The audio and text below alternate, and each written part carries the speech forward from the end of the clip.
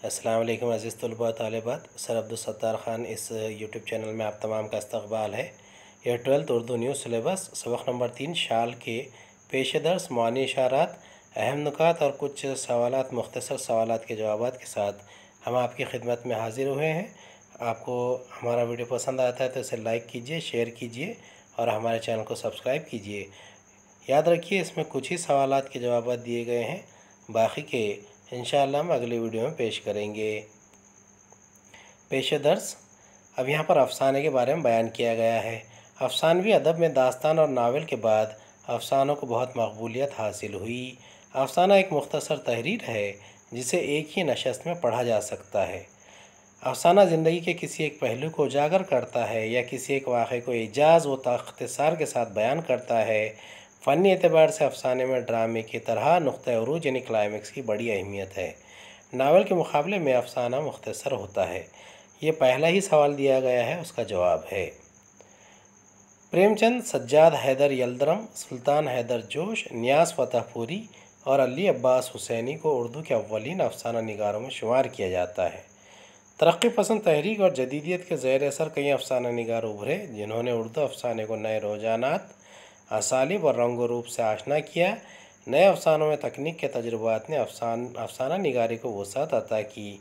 तजरीदी और अलामती अफसानों ने बदलती हुई ज़िंदगी के मसाइल और पेचीदगियों को नए अंदाज में पेश किया।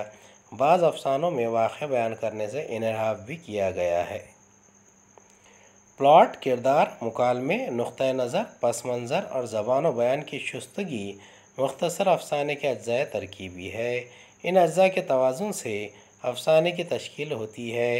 अफसाने में होने वाली हियत और तकनीक की तब्दीलियों के बावजूद आज भी अफसाना इसी बुनियाद पर खड़ा नज़र आता है, जिसकी दागबेल सौ बरस पहले प्रेमचंद ने डाली थी। ये देखिए, यहाँ पर इस पूरे अफसाने का मरकज़ी जो ख़्याल है, उसको बयान किया जा रहा है। इंसान के लिए लाजिम है कि हमेशा सच बोले। झूठ बोलने से इंसानी एतबार इंसान एतबार खो देता है। लेकिन सच बोलने के आदाब में ये बात भी हमें समझाई गई है कि सच्ची बात इस तरह कही जाए कि बात कड़वी भी हो तो सुनने वाला इसे कबूल कर ले। झूठ बोलने को कभी अच्छा नहीं समझा गया है, लेकिन कभी कभी यूँ भी होता है कि इंसान किसी फितने या शर को रफ़ा करने के लिए नुकसान न पहुँचाने वाली हकीकत के बरक्स बात का सहारा ले लेता है। इस अफसाने के मरकज़ी किरदार को ऐसी ही एक सूरत हाल पेश आती है। अफसाने का अंजाम बहुत अंजाम भी नहायत चौंका देने वाला है। चलिए, मानी व इशारत यानी अल्फाज के मानी, स्योती एक किस्म का सफ़ेद फूल नस्तरन भी कहते हैं। सूसन, नीले और आसमानी रंग का फूल, लंबी पंखड़ियों वाला फूल, ये ब्लू लिली कहते हैं इसे। कुंदन, खालिश, सोना, महरिया यानी बीवी, दिलदोज, दिल दहला देने वाला चश्मे मैगू यानी सुर्खी माइल आँख। अटैची छोटा सूटकेस, मलवल जाना, सिलवटे पड़ जाना, हम चश्म बराबर वाला, हम रुतबा। खवे से खवा छिलना, बहुत भीड़ होना। सीनों को बरमाना, बहुत तकलीफ़ देना। बदशगुनी यानी नहवस्त, होल डाल, बिस्तर बंद। चलिए, ये कुछ सरगर्मियों के सवाल हैं, इसे हम हल कर रहे हैं। ये खाके पर मुबनी, सरगर्मियाँ, शाल पर मौजूद फूल कौन कौन से थे? पहले तो आप, अभी आपने देखा कि इसमें कंवल का फूल भी था, इसमें नरगिस का भी फूल था, इसके अलावा सूसन का फूल था और दूसरे दीगर फूल भी इस पर चिस्पा थे, जैसे कि सेवती का फूल और बिन फशे का फूल, ये पाँच फूल है इसमें से आपको चार ही लिखना है। अफसाने की तारीफ़ बयान करके इसके अज्जा अज्जा की निशानदही कीजिए। ये इसका जवाब पहले ही पेश दर्स में दिया जा चुका है। हमीदा की शाल की खूबसूरती बयान कीजिए। इसका जवाब हम आगे देंगे। चौथा, हमीदा की उस वक्त की कैफियत बयान कीजिए, जब उबैद ने इसे कंधों पर शाल डाल दी थी। इसका भी जवाब दिया गया है। मना करने के बावजूद हमीदा की शाल देने पर उबैद ने जो कुछ तय किया, इसे तहरीर कीजिए। रक्शे पर बैठते वक्त उबैद ने सर्दी से बचने का जो इंतज़ाम किया, उसे बयान कीजिए। आठवां रक्शे वाले का हुलिया बयान कीजिए। नौवा, उबैद की जिम्मेदारियाँ बयान कीजिए। दसवा रक्शे वाले से पगली को शाल उड़ाने के लिए कह कर उबैद ने जो रद्द अमल ज़ाहिर किया, इसे बयान कीजिए। हमीदा का चोर को कोसना बयान कीजिए। पगली को शाल देते वक्त रक्षे वाले के ख्याल को ख़लम बंद कीजिए। शाल पगली को देने के बाद हमीदा से मुतक़ उबैद के ख़दशा तहरीर कीजिए। हमीदा की शाल की खूबसूरती। अभी एक सवाल था, उसका जवाब है, हमीदा को ये बड़ी अज़ीज़ अज़ीज़ थी ये शाल, हमीदा को बहुत दिनों से उसकी ख्वाहिश थी कि इसके पास एक शाल ऐसी खूबसूरत और इतनी अच्छी हो कि किसी के पास ना हो। आपके अप्रैल में उबैद जश्न बहार के मुशायरे में शरीक होने श्रीनगर गया था। वहीं से ये शाल शहर की सारी दुकानें छान कर वो हमीदा के लिए लाया था। इसके चौड़े हाशिए पर बहुत ही उम्दा, नाजुक और बारीक काम बना था और बीच वाले हिस्से में हर तरह के फूल खिले थे। गुलाब व लाला बिनफशा व नरगिस, सेवती व सूसन, कंवल और कोज़ा। कितनी खुश होगी वो ऐसी शाल पाकर।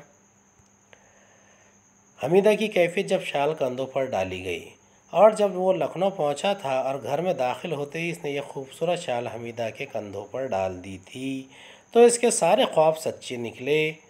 वो बोखला भी गई थी, मुस्कुराई थी खिल खिलाई थी और बुलबुल की तरह चहक भी उठी थी।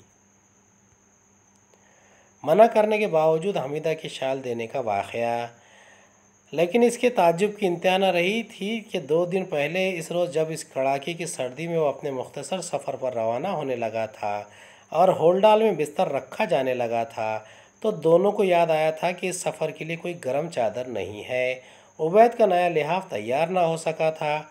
हमीदा थोड़ी देर तो सोचती रही, फिर झपट कर अपनी चहीती शाल निकाल लाई।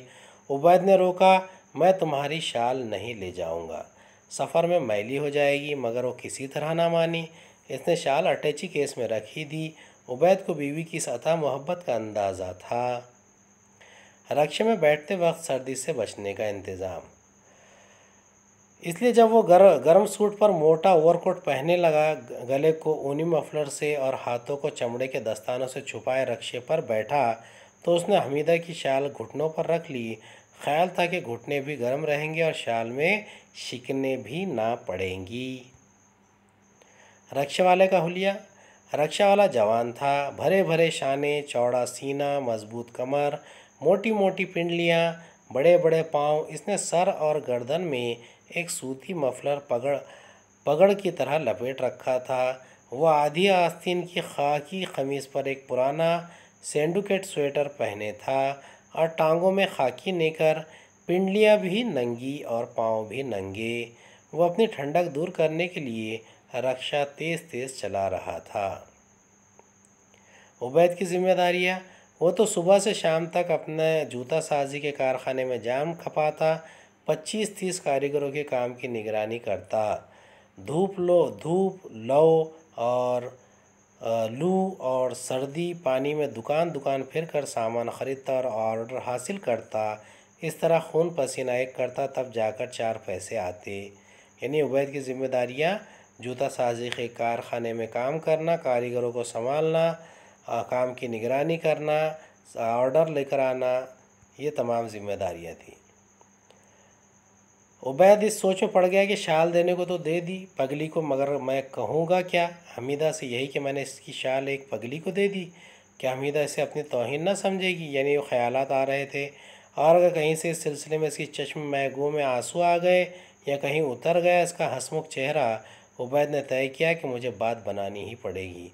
मुझे झूठ बोलना ही पड़ेगा। मगर ऐसा झूठ के बजाय आँखों से इसके, आँसू के इसके मुँह से कल मैं शुक्र निकले। ये आखिरी सवाल, आखिरी जवाब है। रात रेल में यानी जो बहाना बनाया था तो उसमें जो चोर को कोसने लगी थी, वो उसका जवाब है।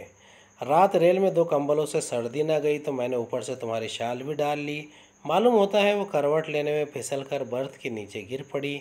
मैं सो रहा था तो दो मुसाफिर उतर गए, इन्हीं में से कोई इसे बगल में दबा कर ले गया। हमीदा रूहान सी आवाज़ में कोसने लगी। मुँह का हाथ सड़ जाए, मेरी शाल ओढ़ने से कभी नसीब ना हो। इसकी खबर में कीड़े पड़े, कहते हुए इसकी आँखों में आँसू आ गए। अगले वीडियो में दोबारा मुलाकात होगी, तब तक के लिए खुदा हाफिज़।